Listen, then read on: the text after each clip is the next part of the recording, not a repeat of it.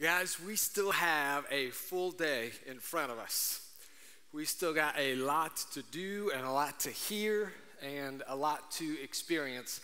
So I want to encourage you to continue today leaning in and to continue listening to God and asking what He wants to say to you, asking Him to continually reveal Jesus and His will to you for the rest of this day. Got a lot left.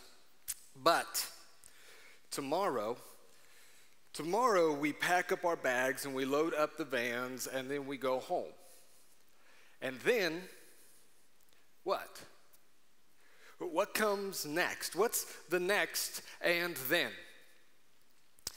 Last summer, I, I, was asked to do this wedding for a former student of mine in Austin, Texas. And, and Austin is about an eight hour drive away from where we live there in Stillwater. And in the weeks leading up to uh, that wedding, my wife got online and started doing some research, and she realized that, um, that, that Galveston, which is this little beach town there in Texas, is only about a three hour drive from Austin. And, and my wife loves the beach. Um, she absolutely loves it. And our kids had never been to the beach before. So she comes to me and she's like, babe, we're, we're that close. If we're going to drive eight hours, we're going to be that close. We may as well drive three more and just go hang out at the beach for a few days. And so she talked me into it. And so we started making plans. Um, we booked this hotel just a couple blocks away from the beach. And, and when the time came, we went down, spent a couple days in Austin doing the wedding stuff, and then we loaded up the van and drove the rest of the way down to Galveston.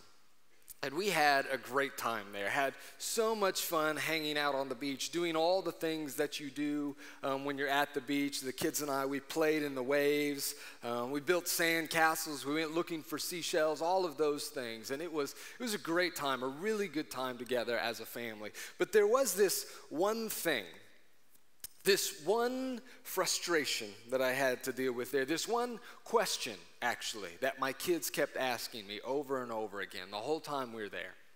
And if you've ever, um, if you're parents and you've ever gone on a vacation and stayed in a hotel with your kids, you might know what this question is. You may have been asked it before. The whole time we're hanging out out there on the beach having a good time, my kids keep asking me this question Dad, when can we go back to the hotel and play in the swimming pool? And in my mind, I'm thinking, seriously? Dude, we, we just drove 11 stinking hours. We, we, we, just paid all this money for a hotel and for gas and for food so that you could come to the ocean for the very first time, to do something you've never done before. And all you want to do is go back and play in a swimming pool? Like we, we have, we have a swimming pool in our neighborhood back home. Like we could have just, if you wanted to play in swimming pool, we, we could have just walked around the block and saved me a lot of time and money. But no, here we are hanging out on the beach, and they loved the ocean, and, and it was fun, and they, they had a great time. But here we are standing in front of this big, beautiful, amazing ocean, and all my kids can think about is playing in a little swimming pool. The disciples are like that sometimes. Peter is like that sometimes. We're in Acts chapter 1 today. And for those of you who uh, don't know, Acts is basically the Gospel of Luke, part 2. So in Luke's gospel, he tells all about Jesus and his life and ministry, all the things he did while he was here on earth. And then in Acts, what Luke does is he tells how Jesus continues his ministry through his church how those early followers went and did the work of Jesus from there. It's kind of the birth and the story of the early church. And Acts 1 picks up basically right where Luke left off. Uh, there's a couple things that Luke tells us in Acts 1. The first thing he tells us is that those resurrection appearances that we see in the Gospels, in the upper room and on the beach and those things, that those weren't the only ones. That actually, over a period of 40 days, Jesus continually appeared to the disciples over and over and over again. And, and, Luke says he gave them many convincing proofs that he was alive, that it was actually him. It's like Jesus didn't want them to ever look back and go, man, maybe, maybe we were just seeing things in that upper room. Maybe we just dreamt that whole thing up when we were out there on the beach. No, he wanted them to know for sure, to be able to look back and go, We know it was him. We hung out with him over and over and over again. We know that he is alive. And the other thing Luke tells us is that Jesus actually, over those 40 days, continued to teach them, specifically about the kingdom. About the kingdom of God. And this is important because, as we've mentioned to you a couple times this week, the, the Jewish people back then, including the disciples, had their own perspective of what the kingdom was and the Messiah. They, they thought the Messiah, again, was this political military ruler, and the kingdom he was going to set up was going to be the physical nation of Israel, that he was going to restore that, that he was going to defeat all of Israel's enemies, and, and the nation was going to come into this time of prosperity, and, and the Messiah was going to set his throne up in Jerusalem. And of course, that's going to work out pretty sweet for the disciples because they know the Messiah right? They've been with Jesus since day one. So when Jesus does this, this is going to be a pretty sweet deal for them. And so they get all excited about it. And, and so Jesus continually teaches them that no, no, that's not what the kingdom is. The kingdom of God is not confined to some physical nation or physical space. The kingdom of God is anywhere where people see and recognize the reign and rule of God where they submit to Him, where they give their lives to Him, where they see Jesus for what He is, and where they put their faith in Him. The kingdom is anywhere that people are loved like they ought to be in the name of Jesus, where righteousness and justice are taking place, where God is being worshiped. And, and, and the broken are being taken care of. This is the kingdom of God. And Jesus taught them before his death and resurrection, and he spends 40 days teaching them afterwards. And so I think the question that they come up and ask him in verse 6 must have been a pretty frustrating one for him. Here's how it goes Acts chapter 1, verse 6 says this Then they gathered around him and asked him, Lord, are you at this time going to restore the kingdom to Israel? Did you catch it? Did you hear it? They're still thinking Israel. They're still thinking small. They're still thinking the point of all this is to bless their people and their nation and make them great and for it to benefit them. They're, well, they're kind of like my kids, standing in front of the ocean and thinking about a swimming pool. It's if Jesus is this big and vast and amazing thing, which he is, who Jesus is and what he's about are so big, so beautiful, so amazing. But so often, when the disciples stand there in front of him, all they can see is this little bitty picture of him. All they can see is their own small personal agenda for who he is and what he's about, like standing in front of a beautiful ocean and thinking about a kiddie pool. But here's where I need to be a little bit careful because it can get so easy to take shots at the disciples. I mean, 2,000 years later, hindsight is 2020. We have the benefit of looking back on these things and seeing the big picture. And so it is so common for people, especially preachers, to take shots at the disciples about how dumb they were and how much they missed it. And man, they were such idiots and they were so childish. And, and we love to, to make fun of them, and especially Peter. And, and I've done a little bit of that even this week, talking about how foolish they are, as though, as though we would have done any better in their situation. In fact, I heard one preacher say that he's convinced that when we all get to heaven, that Peter's going to be waiting there for all of the preachers. And when the preachers come up, he's going to go up to them and he's going to give them a big hug and welcome them into heaven, and then he's going to punch us right in the throat. for all the trash we've been talking about him for the last 2,000 years. Because the truth is, we would have been in the same spot we would have responded in many of the same ways that the disciples did in that moment. In fact, there are a whole lot of people who respond to Jesus in the exact same ways today, who come to Jesus with their own little agenda for him. Did you know there are a whole lot of people who honestly believe that the whole point of this Christianity thing, that the whole main reason that Jesus came was to die on a cross for my sins to save me so I can go to heaven after I die. And so they say the prayer, or they drop the rock, or they get baptized, and they go, Hey, Jesus, thank you so much for saving me. I appreciate it. That is so kind of you. Um, I'm going to go over here and kind of live my life now. I'm going to do my thing, but I'll catch up with you when we get to heaven. That is crazy. That's unbiblical and it is so small. Listen, Jesus is not just your own personal ticket into heaven. Jesus is Lord. He's master, He's king. And, and there are a lot of people who honestly believe that, that um, the whole point of this Christianity thing is for Jesus to bless me. That, that if I follow him and if I be a good Christian, if I do the things that good Christians do, you know, go to church, pray, read my Bible, if I'll do those things, then Jesus is going to help my life kind of work out in the right way. He's going to bless it so that um, I stay safe when I'm traveling, and so that none of my loved ones get sick. And, and He's going to help me be successful and kind of accomplish my dreams, um, help me get into the school I want to get into. And, and then when those things don't work out, they end up getting angry at God as though He's let them down. And, and listen, I, I'm not trying to tell you that, that Jesus never gives us gifts like that that He doesn't sometimes bless us with some of those cool things. But if you honestly believe that the whole point of Jesus and the whole point of Christianity is to help your life work out smoothly and help it go easy for you and work out the way you want it to, you did not get that idea from the Bible. It's not in there.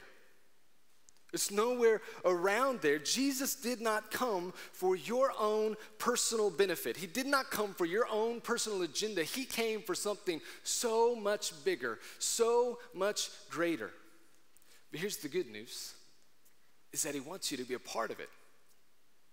That what he's here for, he's invited you into that. And he invites his disciples into that here. Here's what he says in verse 7 Jesus said to them, It is not for you to know the times or dates that the Father has set by his own authority, which I think what he's saying by that is that's a stupid question, so let's move on. But you will receive power when the Holy Spirit comes on you, and you will be my witnesses in Jerusalem and in all Judea and Samaria and to the ends of the earth. See, the disciples, when they think kingdom, they're thinking man made and little small. But Jesus, when he's talking about the kingdom, he's talking about something that is God made and that is huge, that is worldwide. And he says, Here is what you're going to be doing, disciples. Your job is to take the good news of the king and the kingdom and to bring that to everyone and to invite people into that, to tell them about the one who has conquered death and sin, and tell them that everyone who wants to place their faith in him is welcome to be a part of this kingdom. And, and this is actually what Jesus is saying to you that you are called to do this thing as well. In fact, I've only got two points for you this morning. And the first one is this Number one, Jesus is calling you to kingdom work. Or to use our word for the day, he's calling you to repeat. He's calling you to do the things that he did while he was here on this earth. He's calling you to share the good news of the gospel of the king and kingdom. He's calling you to live out the kingdom by the way you love people. He's calling you to use your gifts to serve and build up the church. He's calling you to make disciples and help them to grow up into maturity, to care for the broken and the hurting you. He's calling you to kingdom work. Now, before you start clapping, before you start clapping, you should probably hear point number two. Point number two is this you can't do kingdom work. You're not good. Yeah, yeah, I guess, yeah, I don't know. You want to clap for that. Um, you're not, here, here's, here's, here's the thing you're not good enough to. You don't have the ability in you to do kingdom work. And the reason why is because the, the kind of work that Jesus is talking about here is, is a kind of work that transforms lives completely. It's a kind of work that takes people who don't want anything to do with him or don't know anything about him and changes them into the kind of people who want to give their whole lives to Jesus, who want to follow him completely and wholly. And, and that's not the kind of change that takes place by me using really persuasive arguments. That change doesn't take place in people's lives by you doing good deeds for them. It doesn't take place by us getting a bunch of Christians in political office to set up a lot of rules that will help everybody do the right thing. No, no. This kind of transformation can only take place from the inside out. It only happens when a person's heart changes. And you don't have the ability to change anybody's hearts. And neither do I. I can't do that. Here's the good news Jesus isn't expecting you to do that. Jesus knows that you can't do that, and so he's made arrangements. You may have heard it there in verse 8. Before he says, You're going to be my witnesses, he says this You will receive power when the Holy Spirit comes on you, and then you will be my witnesses. What Jesus says is, I am going to place my own presence in you. The Spirit of the living God, third person of the Trinity, moving in you, enabling you, empowering you to do this work. And He is the one who changes hearts. He is the one, as you teach the gospel, He is the one, as you do good deeds, who has the ability to open up people's hearts and lives to the gospel and to change them. He will go with you to do those things. Hey, I, I don't know what specifically kingdom is, work is going to look like for you, but I know at least three things about it. I know, first of all, that He's calling you to do it now. That He's going to have you start where you are, just like He tells the disciples start there in Jerusalem and then make your way out. He wants you to start now to live out the kingdom in your home, in your school, on your football team, or in your marching band. He wants you to begin to do kingdom work now. I also know this that many times that kingdom work will feel beyond you. It will feel like something that's going to stretch you, that's going to be beyond your comfort zone or more than you would have wanted. But lastly, I know this that He will give you the ability to do it by His Holy Spirit in you, that He will empower you to do those things. Let's wrap up here with verses 9 through 11. After He said this, he was taken up before their very eyes, and a cloud hid him from their sight. They were looking intently up into the sky as he was going when suddenly two men dressed in white stood beside them. Men of Galilee, they said, why do you stand here looking into the sky? This same Jesus who has been taken from you into heaven will come back in the same way you have seen him go into heaven. So here they are having this conversation with Jesus. And I don't know if it really goes like this exactly, but this is kind of the way it reads. This is what it sounds like is they're in the middle of having this conversation, talking back and forth with Jesus, when all of a sudden Jesus just kind of goes like Mary Poppins on them, right? And just starts floating up into the sky. And, and they're sitting there in the middle of talking, going, wait, what's happening? What are you doing? What are you doing? And, and, Jesus goes up and they're just kind of transfixed trying to figure out what is happening here. We call this the ascension, the ascension of Jesus. Here's my question for you this morning Why does the ascension happen? Why does he do that? Why, specifically, why does Jesus go up? Here's what I always thought when I was a kid is, is Jesus goes up because that's where heaven is. He's got to get to heaven, right? And so he goes up and he goes past the clouds and he goes, you know, past the atmosphere and then he's got to travel through space. It takes a little while. And then after he gets to there, he gets finally to heaven, right? But now I know better. Now I know that that's not where heaven is. Heaven is a completely different dimension, it's a different realm altogether. And so Jesus doesn't have to travel up to get there. He could have just kind of transported himself there. So then why does he do it? Why does he ascend? You know why? Because that's what kings do. Kings ascend to the throne. And that's what Jesus is doing in this moment, ascending to the throne at the right hand of his Father. The ascension is a display for his disciples to confirm in them, to help them know who has the ultimate authority and power. As if there's might be any doubt after that whole, you know, coming back from the dead thing if there's anybody who's still wondering who has authority, who has power, the ascension clinches it. It's a way of looking there and going, This one, he was the king, he was the Messiah, he is the Lord, and what he says goes. So we have this phrase that I use around my house sometimes with my kids to kind of remind us all of who's in charge here. I'll say to them, I speak, and they respond back to me, we listen and obey. I'll say, Dad speaks. They say, We listen and obey. Or I'll say, Mom speaks. We listen and obey. And that's essentially what the ascension is saying to the disciples and to us. The king has spoken. We listen and obey. In fact, I kind of want to hear you say that. So I'm going to say, Jesus speaks, and I want to hear you say, We listen and obey. Ready? Jesus speaks. When King Jesus speaks, that's what the ascension says to us. And that's what the angels say to the disciples when they're sitting there looking up into heaven. The angels come to them and say, Hey, what are you guys doing here? He gave you your orders, He gave you your instruction. Go back to Jerusalem, wait for the Holy Spirit, and then get to work. And that's the challenge I want to leave you with today. The King has given you your orders, He has given us our commands, but he has also, by His own Spirit, given us the ability to do it. So let's not go back and waste all our time trying to live out our own petty agendas. Let's not spend all our energy on ourselves. The king has spoken.